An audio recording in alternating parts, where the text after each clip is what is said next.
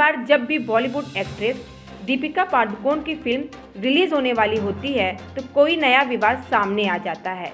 एक बार फिर जब दीपिका पादुकोण की फ़िल्म छपाक 10 जनवरी को रिलीज़ होने जा रही है तो रिलीज़ से पहले ही ये फ़िल्म मुश्किलों में पड़ गई है।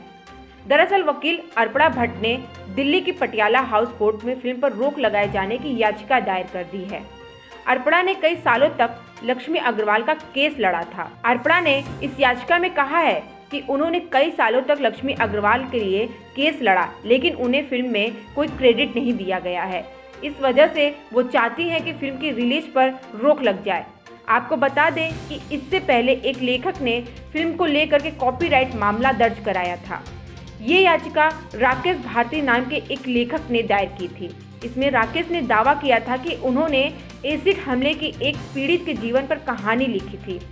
राकेश ने फ़िल्म में श्रेय दिए जाने की मांग की थी।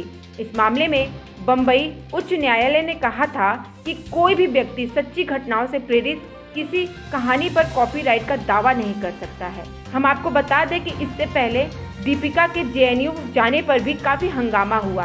कई पार्टियों के नेताओं ने उन्हें ट्रोल भी किया। इसके बाद सोशल मीडिया पर हैश टैग बायकाट ट्रेंड होने लगा। तो आज के हमारे इस वीडियो में बस इतना ही। आपको हमारा ये वीडियो कैसा लगा कमेंट बॉक्स में ज़रूर बताएँ। अगर आप हमारा ये वीडियो यूट्यूब पे देख रहे हैं तो चैनल को सब्सक्राइब करें।